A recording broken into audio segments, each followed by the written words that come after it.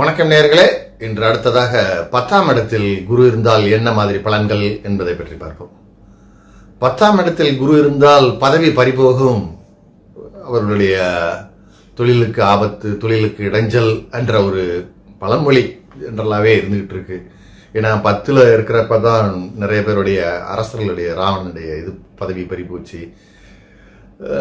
So ஆகவே இந்த பத்தில் இருக்கிறப்ப பதவி போயிருமான்னு சொல்லி ஒரு மக்களுக்கு ஒரு இது ஒரு கிரகத்தை மட்டும் வைத்து பத்தில் இருந்துச்சுன்னா பதவி பறிப்போகும் பதவி மறுக்கப்பட்டு விடும் அதெல்லாம் சொல்ல முடியாது. ஏன்னா பத்து குரு வந்து ஒரு நல்ல குரு ஒரு இருக்கிற இடத்த விட பார்க்குற இடத்த தான் அது சுபத்துவம் நிறைய ஆகிக்கிட்டு இருக்கோம்.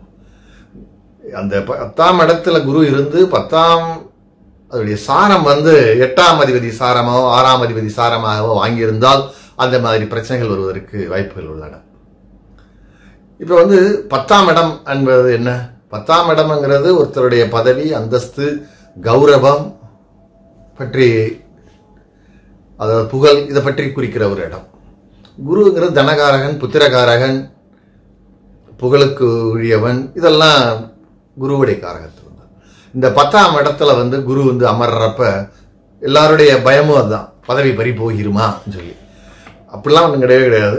இது எந்த மாதிரி லக்னம்? மேச லக்னமாக இருந்தால் பத்தில் வந்து குரு உட்கார்றப்ப நீசமாகி விடுகிறது. ஸோ இந்த திருவோ உத்திராட நட்சத்திரம் இருந்தால் சிம்மத்துடைய நட்சத்திரம் அது எட்டாவது நட்சத்திரம் எட்டாவது வீடு அதனால ஒரு பிரச்சனைகள் வரலாம். ஸோ அதனால் நம்ம வந்து எங்கே ஒரு வீடு உட்காருது? குருவுடைய வீடு என்னது? அது வந்து எட்டாவது ராசியாக இருந்தால் அது பத்த அதாவது பத்தாம் வீட்டில் இருந்து எட்டாவது ராசி அதுக்கு அமர்ந்திருந்தால் அது பிரச்சனைகள் வருவதற்கு வாய்ப்புகள் உள்ளன. மற்றபடி நாரலா குரு வந்து பத்தில் வந்து உட்கார்ந்தா உடனே பதவி பரிபோகம்லாம் சொல்லக்கூடாது. நம்ம ஜென்ரலாக குரு வந்து சாதகமாக இருந்தால் எப்படி இருக்கும்? அதாவது நல்லபடியாக இருந்தால் எப்படி இருக்கும்? குரு வந்து சுமாராக இருந்துச்சு நல்லபடியாக இருந்தாலும் ஆட்சி உச்சம் நட்பு வீடுகளில் இருந்துச்சுன்னா நல்லா இருக்கும். நீசம்ங்கிறது வந்து குரு வந்து மகர வீட்டில் நீசமாகிவிடும் அதே மாதிரி மற்ற வீடுகளாகிய சுக்கரனுடைய வீடுகளில் வந்து அது பகை வீடுகளாக மாறிவிடும். அதே மாதிரி மிதுனம் கன்னி வீடுகளில் வந்து அது வந்து பாதகாதிபதி அது ஆகிவிடும். ஸோ இந்த வீடுகளில் வந்து அதோடைய சுமாரான பலன்களை கொடுத்துக்கிட்டு இருக்கோம். ஸோ அதனால் நல்ல வீடுகள் அதில் ஆட்சியாகவோ உச்சமாகவோ மீனம் தனுசு கடகம் இங்கெல்லாம் வந்து கடகத்தில் வந்து உச்சம் மீனத்திலையும் தனுசுலையும் வந்து ஆட்சி வீடுகளாக இருக்கும் ஸோ இங்கே பத்தாம் இது பத்தாம் வீடுகளாக வருதுன்னு வச்சுக்கோங்களேன். இந்த வீடு பத்தாம் வீடுகளாக வந்துச்சுன்னா அது ஒரு நல்ல இதாக தான் இருக்கும். ஆனால் பாதகாதிபதியாகவும் ஒரு அதாவது ஆக்சுவலாக மேச லக்னத்துக்கு பத்தாம் வீடுனா நீசமாகிடும் ரிஷப லக்னத்திற்கு பத்தாம் வீடுலாம் சனி வீடு கும்ப வீட்டில் வரும். மிதுனம் இதுக்கு கன்னிக்கு அது பத்தாம் வீடுங்கும்போது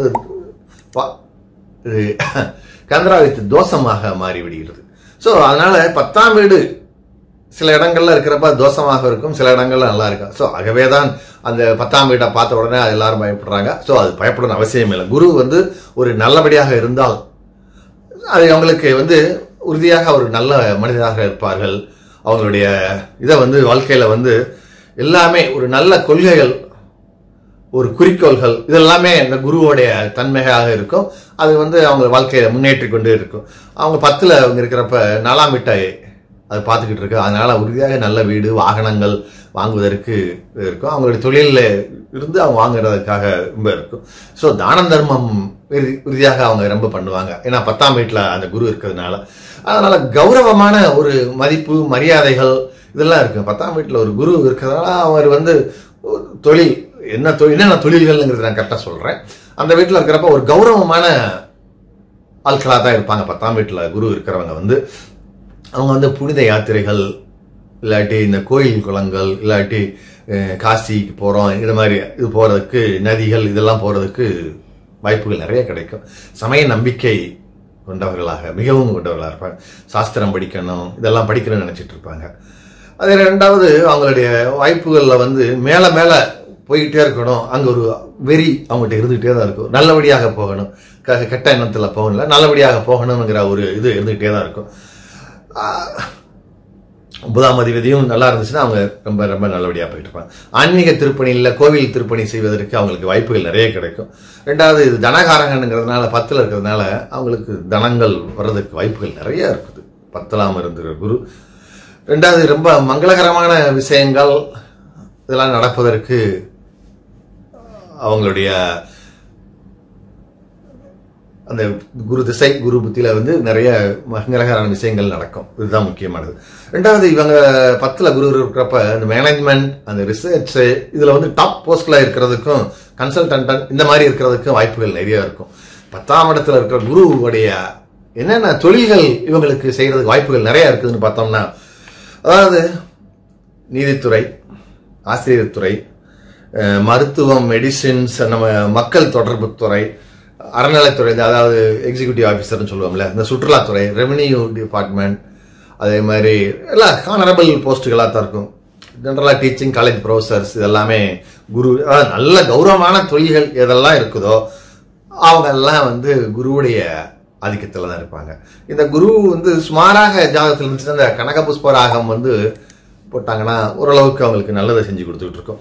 ரெண்டாவது இந்த தொழில்கள் பண்ணுறாங்கன்னு வச்சுக்கோங்களேன் சுமாராக இருந்தால் தொழிலில் பிரச்சனை வரும். அதாவது நீசமாகவோ இல்ல வீடில் பகை வீடுகளில் இருந்தால் இந்த பிரச்சனைகள் தொழில் பிரச்சனைகள் வந்துகிட்டு இருக்கும். அது இல்லாமல் இருந்தால் தொழிலில் பிரச்சனைகள் உறுதி- வருவதற்கு வாய்ப்புகள் இல்லை. அது ரெண்டாவது பத்தில் குரு இருக்கிறப்ப இந்த ஏற்றத்தாழ்வுகள் சுமாராக இருக்கிறப்ப இந்த ஏற்றத்தாழ்வு நல்லா போயிட்டே இருக்கும். திடீர்னு ஒரு இது விழுந்துரும் அந்த இந்த கீழே விழுந்துருவாங்க. ஸோ இந்த மாதிரி ஒரு ஃப்ளக்சுவேஷன் அந்த இது இருக்கத்தான் செய்யும். பத்தில் அந்த குரு இருக்கிறப்ப. அதே மாதிரி இந்த பத்தில் குரு இருக்கிறப்ப இந்த போட்டி பொறாமைகள் இதெல்லாம் வந்து அவங்களுக்கு அது தொழிலாக இருந்தாலும் சரி ஆஃபீஸாக இருந்தாலும் சரி ஆஃபீஸாக இருந்தால் கூட இவன் மேலே முன்னுக்கு வரக்கூடாது. ஏன்னா இவன் ரொம்ப ஸ்ட்ரிக்டான ஆஃபீஸராக இருந்துகிட்டு இருப்பாப்ல இவன் இன்னும் மேலே போயிட்டானா நமக்கு இன்னும் பல பிரச்சனைகள் வந்து விடும் சொல்லி நினச்சிக்கிட்டு இவனை வந்து மேலே வரவிடக்கூடாதுன்னு சொல்லி எல்லாருமே அந்த இது வேலை பார்த்துட்டு இருப்பாங்க. வளர்ச்சிகள் இருக்கும் அதனால பிரச்சனைகளும் இந்த இருக்கும் அதனால பத்தில் குரு இருக்கிறப்ப இந்த சில சில கஷ்டங்களும் வர்றது வாய்ப்புகள் நிறைய இருக்குது. ஸோ நம்ம அதையும் கன்சிடர் பண்ணிக்கணும்.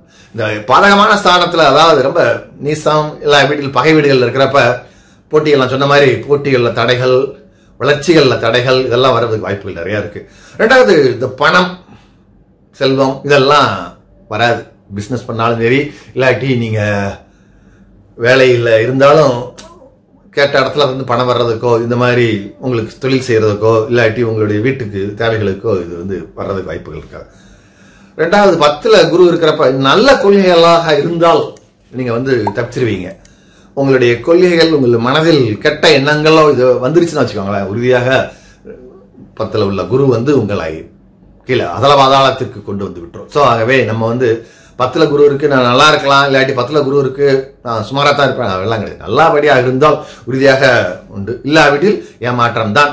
அந்த ஏமாற்றத்தை நம்ம அனுபவிச்சு தான் ஆகிடும் ரெண்டாவது பத்துல குரு இருக்கிறப்ப ஒரு கௌரவமான தொழிலா இருக்கும்.